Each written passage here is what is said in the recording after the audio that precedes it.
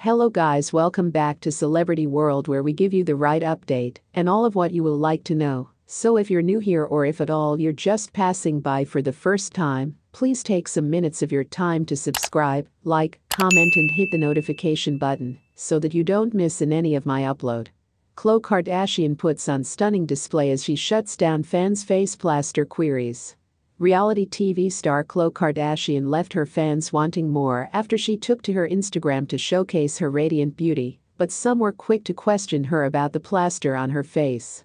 Khloe Kardashian was forced to shut down fans' queries regarding her face plaster as she set temperatures skyrocketing in a stunning gym snap. The 38 year old left her Instagram followers hot and bothered as she graced their social media platforms with a stunning selfie. Wearing a figure hugging tank top, Khloe kept her makeup understated and added a hint of pink colored lip gloss to her pout.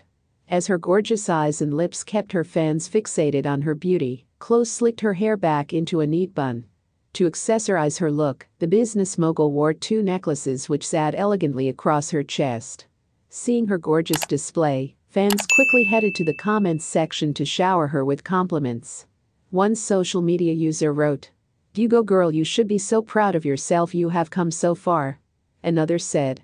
Freaking beautiful. Meanwhile a third added. You and your sisters are really rare beauties. Although many were complimentary, some were quick to point out the barely visible plaster on Khloe's face. Commenting on the photo which may have been taken some time ago, one person asked, And what the heck is on your cheek? The TV star replied, A bandage. I had a tumor removed from my face, but I'm totally okay. Thank you for asking. Meanwhile, someone else asked, Is that a band aid on your jawline or makeup? Khloe responded, It's a scar strip. I had a tumor removed from my face a few moments ago, so I wear this for healing and the prevention of my scar getting worse. All is great and healing wonderfully. The mother of two has previously opened up to fans about her healing journey following her skin cancer scare. Thanks for watching to the end. And guys don't forget to subscribe like this video, share and leave your comment on the comments section below see you next time.